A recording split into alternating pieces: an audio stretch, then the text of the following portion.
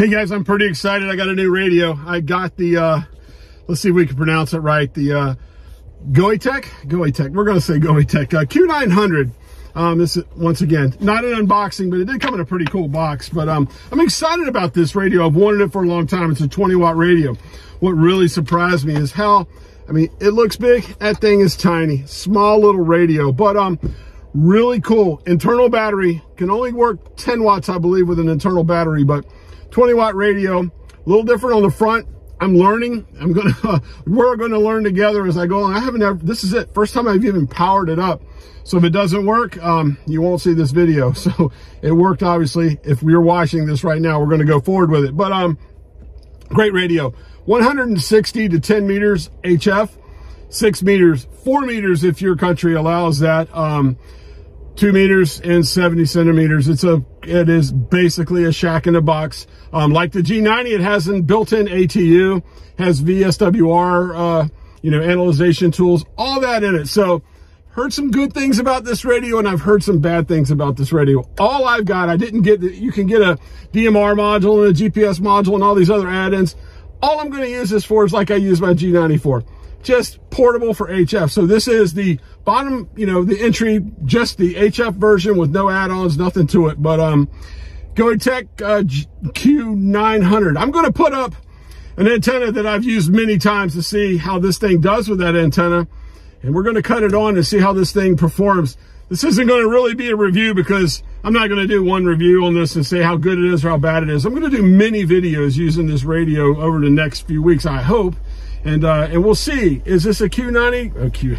Is this a G90 replacement? I don't know. Maybe it might be. Maybe not. I love my G90, but I'm looking for something built-in battery, portable, easy to carry. Almost can make a man pack out of it. Let's get the antenna up. Let's fire this thing up and see what kind of contacts we can make. Stick around.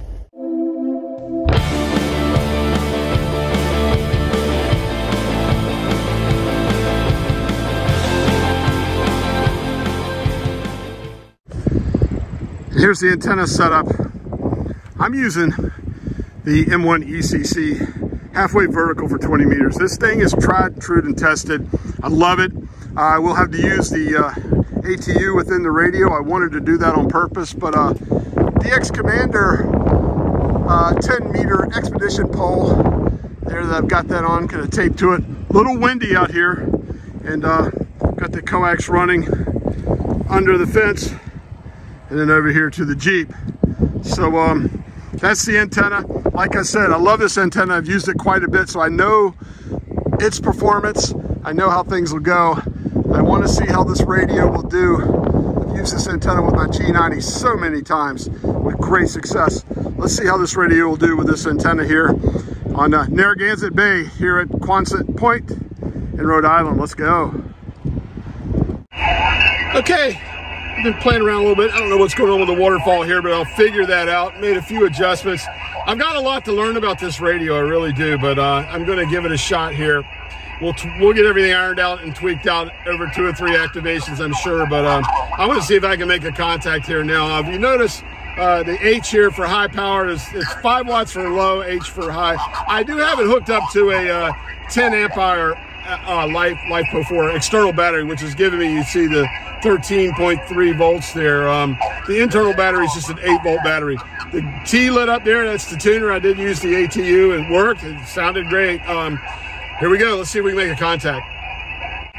Kilo 4, Oscar Golf, Oscar. Kilo 4 station. Yes, Kilo 4, Oscar, Golf, Oscar. Roger, Roger. Kilo 4, Oscar Golf, Oscar. Thank you for your call. You 55 because the US 0718. Uh, QSL, QSL, was that US 0718? Roger, Roger. Roger, Roger, can I get your call one more time too? I'm sorry. 54 Tango Romeo Alpha. 54 Tango Radio Alpha. QSL, QSL. The name here is Walt Whiskey Alpha Lima Tango. I'm portable in Rhode Island, 20 watts. Thanks for taking the call there, 73. Thank you for the time and 73. Thanks for hunting, Joseph. it worked. Okay, tuning this thing's a little funky. You got to kind of move move the cursor back and forth here and then up and down here. I guess I'll get used to that eventually, but uh, for now, it's, it's not all that bad, but I'm getting there. Kilo Echo 2, Echo Tango, for CQ, Hawks in the air. Kilo 4, Oscar, Golf, Oscar. Kilo 2, Golf Ocean Delta, good signal, 5 and 7, uh, US 6927. QSL 73, Kilo Echo 2, Echo Tango, for CQ, Hawks in the air. Kilo 4, Oscar, Golf, Oscar. CQ POTA, CQ POTA. Kilo Echo 2, Echo Tango, for CQ, On. Kilo 4, Oscar, Golf, Oscar. November 7th, Julian, you Mike, good afternoon, 5 and 7, it's the uniform 6927. Okay, here's the disappointment. You see here the T. This, this is uh, 17 meters, which I've never had a problem tuning this antenna for 17 meters with the G90. We're gonna try it here and watch it struggle and struggle and struggle. And it's still, that will stay green if it tuned it. It won't tune if you watch. Kilo 4, Oscar, Golf, Oscar, Kilo 4, Oscar, Golf, Oscar. You, you see the high VSWR there, so it won't tune. This internal tuner won't tune 17. So that's one, there's a big strike right there. I mean, that's the beauty of the G90. It'll do it. I'm thinking about popping the G90 out here in a minute and uh, trying it on the same band here just to prove the fact here. A lot of things going on here. I haven't made a contact, but it's uh, it's been a struggle. Hello CQ, hello CQ, Kilo 4 Oscar, Golf, Oscar calling CQ, CQ, K4OGO calling CQ, CQ, anyone, anyone.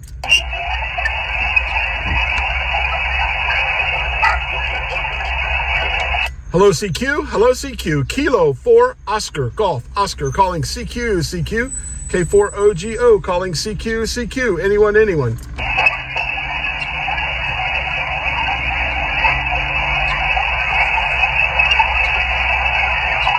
Hello CQ, hello CQ, Kilo 4 Oscar, Golf, Oscar calling CQ, CQ, K4OGO calling CQ, CQ, anyone, anyone.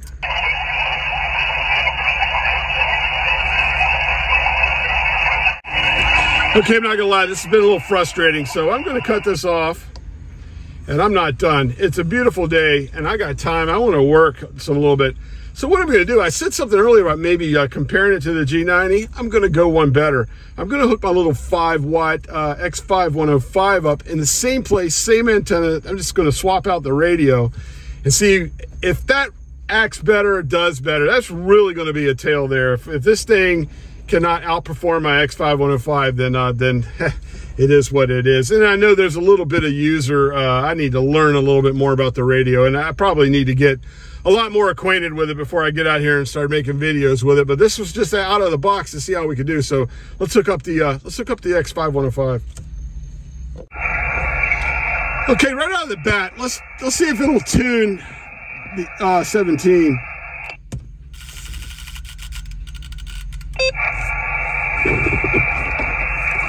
Kilo 4, Oscar, Golf, Oscar. Yeah, there you go. Absolutely, absolutely. It tuned 17. It tuned 17. So there's a strike against the Q900 right out of the right out of the chute here. Well, somewhat of a frustrating day. Um, probably a little bit of user and probably a whole lot of this. Um, I'm gonna still play with it, try to get familiar with it, but um, I'm not impressed coming out of this shoot with it. We'll definitely play with it some more. Uh, I think what I'll do is get up um, maybe a couple days, get up, do an early morning with it and see how that how that works. Maybe. Um, I, I got to tell you, I pulled the G90 out and the power connector where it goes in the back has disconnected. I got to perform surgery on the G90. Um, I had the X5 105 with me, had three radios with me, had that with me as well. And um, yeah, I was able to uh, tune uh, tune the antenna on every band and um, and this would not, the, the internal tuner on this would not tune 15 and 17 meters on this. It would tune 12, believe it, and 10, believe it or not.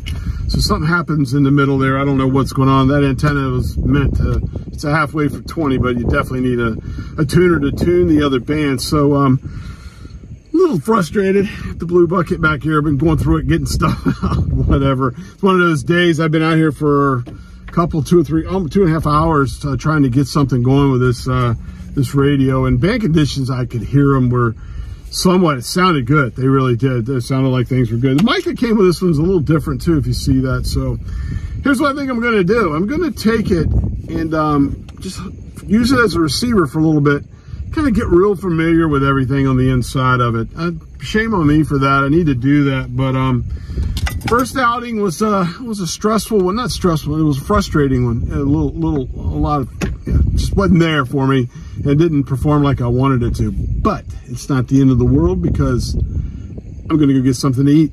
Come along. here we go for today's dinner. We are at Gardner War Gardner's Wharf Seafood. This is uh, Wickford, Rhode Island. So uh, this is a seafood market actually with a uh, has a clam shack restaurant type in the back of it. As you can see, this is over uh, some marina, surrounded by a marina, and that is what I like. Places like this for sure. Um, we'll go inside and uh, head inside of the market and uh, go get us a bite to eat here for dinner.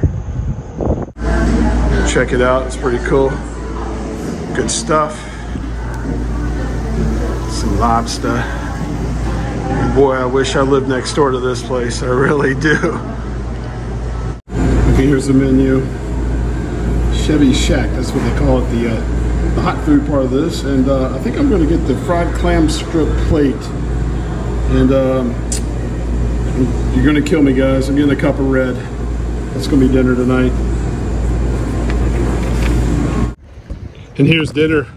Oh yeah clam strips, some red chowder, and uh, neat little place here. I'm in the back, out behind it, uh, surrounded here by the cove. I was actually operating straight over there. If you see those white buildings, I was right there. You can almost see the beach where I was at. So uh, cool place.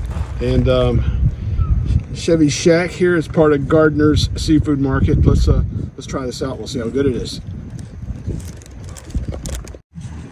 Okay, absolutely delicious. I mean, delicious. Um, the, the clam strips, they taste, oh my God. They're, they're fresh. You can tell they're so fresh and not overcooked, just right. Battered just right, cooked just right. Let me ask you guys a question. I'm a fried dipper. My wife has a squirted on top of the fries. What are you? I, uh, I like to dip my fries. The coleslaw here, great too. Not over, kind of had a dryness to it, and that's the way I like it for sure. And um, I'm sitting here with a mouthful. It's so good.